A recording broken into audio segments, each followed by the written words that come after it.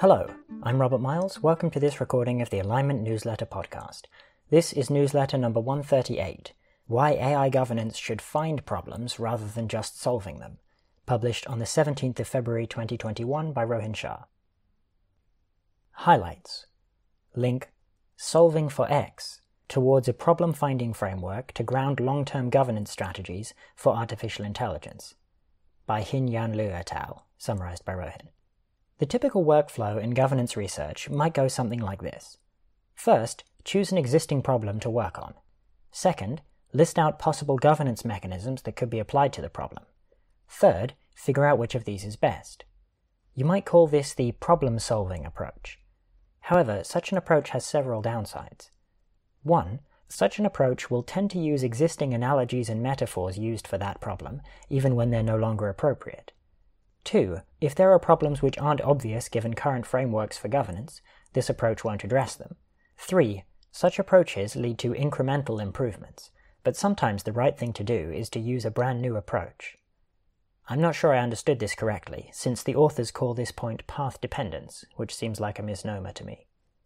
4. It's hard to differentiate between problems that are symptoms versus problems that are root causes in such a framework, since not much thought is put into comparisons across problems. And five, framing our job as solving an existing set of problems lulls us into a false sense of security, as it makes us think we understand the situation better than we actually do. If only we solved these problems, we'd be done, nothing else would come up.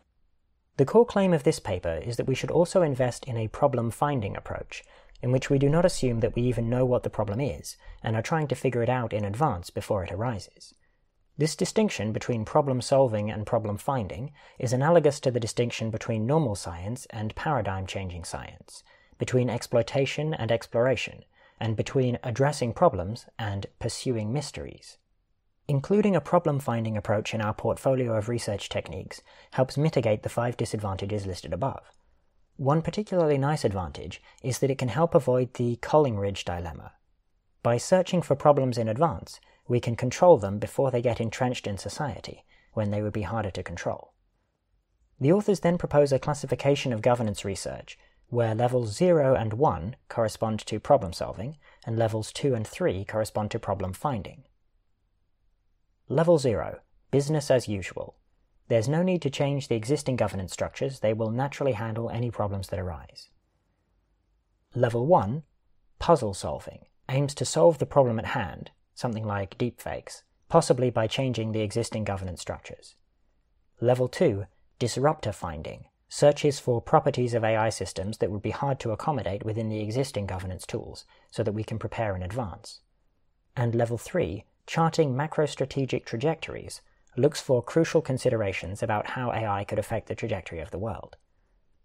These are not just meant to apply to AGI. For example, autonomous weapons may make it easier to predict and preempt conflict, in which case, rather than very visible drone strikes, we may instead have invisible high tech wars. This may lessen the reputational penalties of war, and so we may need to increase scrutiny of and accountability for this sort of hidden violence. This is a central example of a level 2 consideration. The authors note that we could extend the framework even further to cases where governance research fails. At level minus one, governance stays fixed and unchanging in its current form, either because reality is itself not changing, or because the governance got locked in for some reason.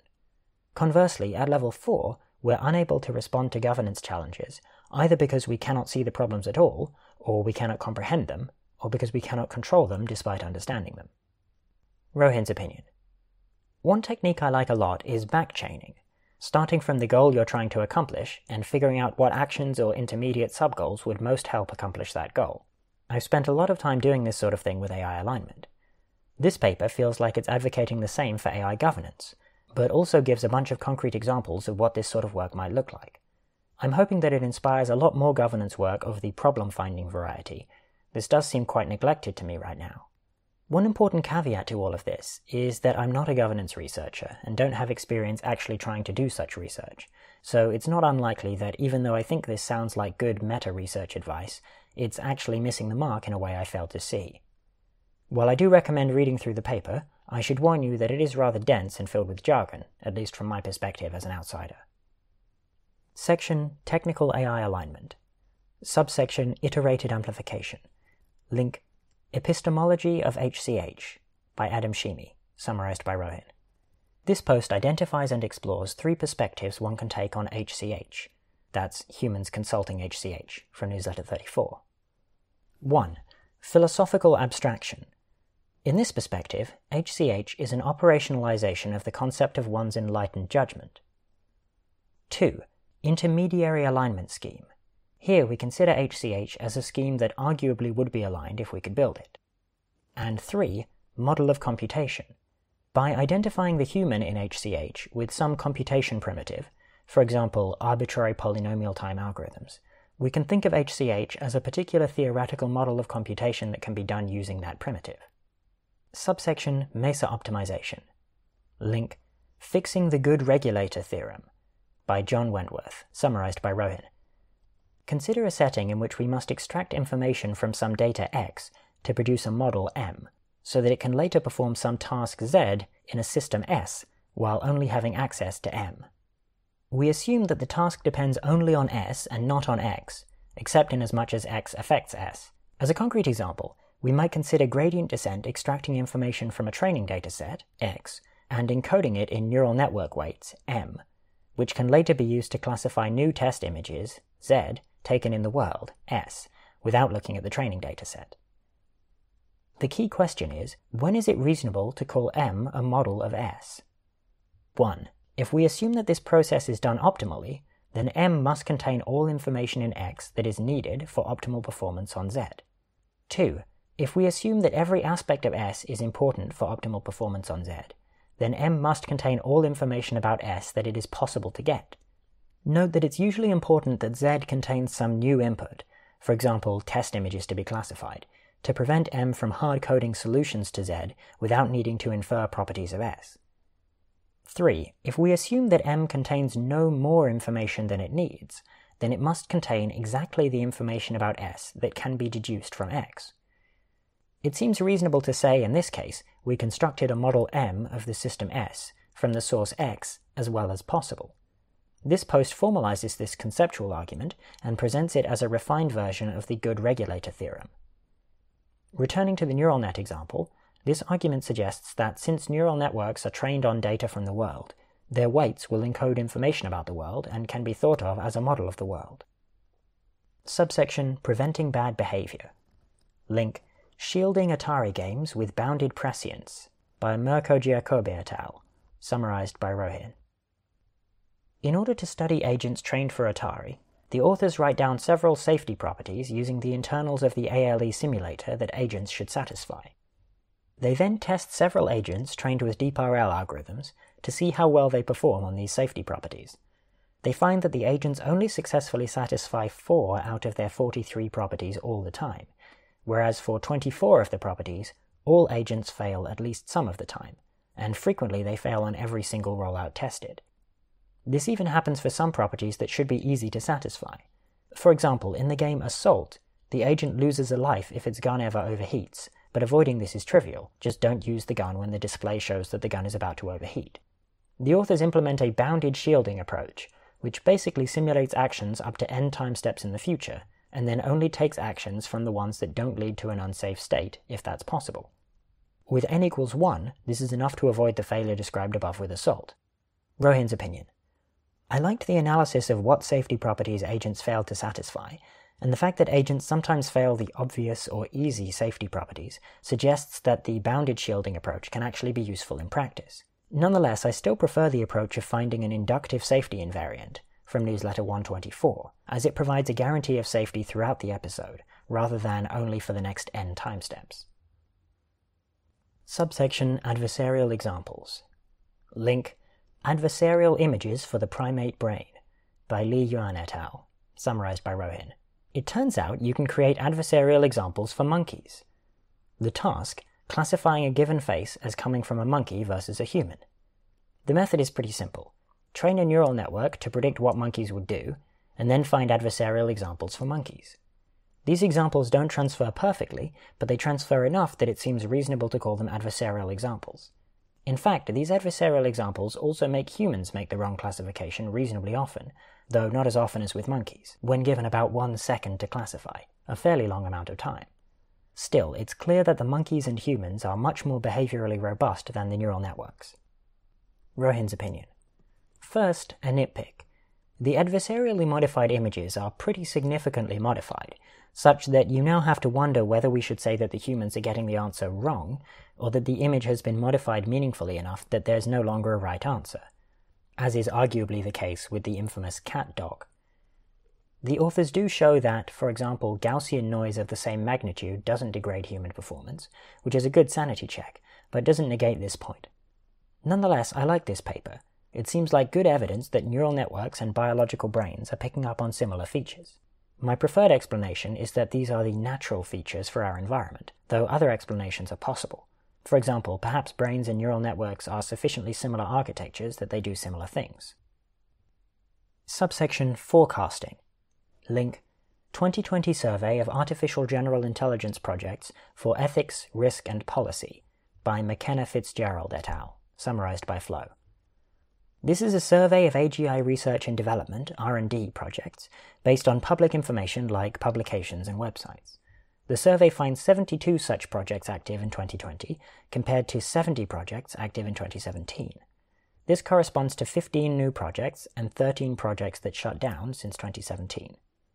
Almost half of the projects are US based, and this is fewer than in 2017, and most of the rest is based in US allied countries.